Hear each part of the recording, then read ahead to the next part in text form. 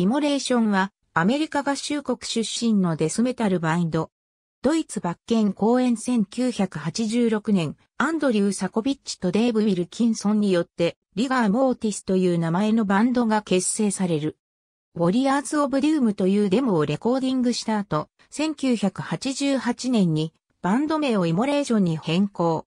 ロードランナーレコードと契約し、ファーストアルバムドーン・オブ・ポゼッションをリリース。